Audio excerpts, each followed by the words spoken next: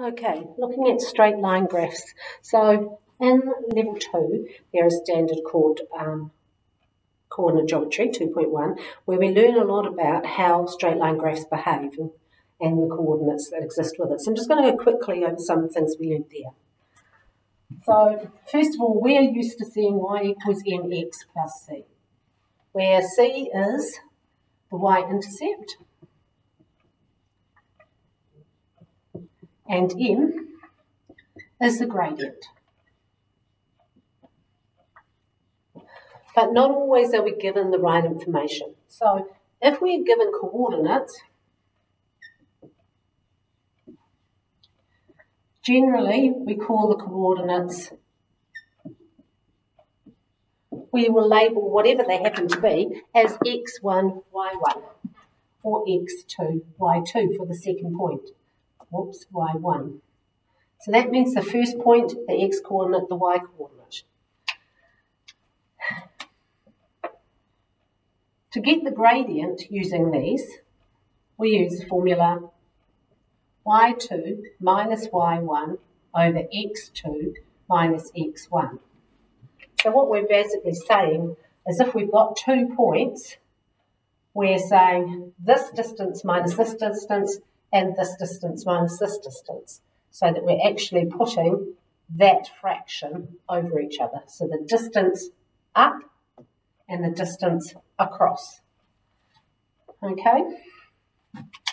Once we've got that, we still call it m, we can put it in a formula. That formula says that the y, take away the first point, is equal to the gradient x take away the second point. So again, we're still using the first point of our two points. So it might be this one, x1, y1. This one up here would be x2, y2. As long as we use one of them, it wouldn't really matter which way we round we label them. By using this formula, we'll get the equation of a line. Generally, they like us now to write our lines as ax plus by minus plus c equals 0. So they want you to sort of get from there to there. And that just requires a bit of rearranging. So let's have a look. Let's say we've got our two points, 2, 1, and negative 3, 3. All right? We don't care what it looks like on a graph. We don't have to draw it. We want to find the gradient. So we label our points x1, y1, x2, y2. We've got 3 minus 1 over negative 3 minus 2 that equals 2 over negative 5. So it's a negative gradient. And y minus 1 equals 2 over negative 5, x minus 2. Negative 1, negative 2, because in the formula they're both minus signs. Okay? Now we write, rewrite this. y equals and the easiest way to do it is to actually multiply this by negative 5.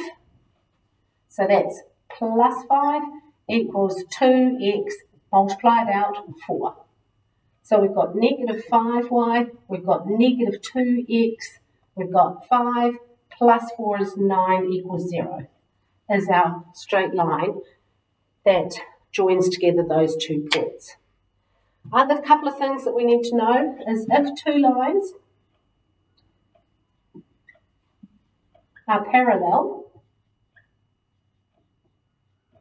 then the gradient of the first line will equal the gradient of the second line. Okay? If they're perpendicular, we have a really interesting one.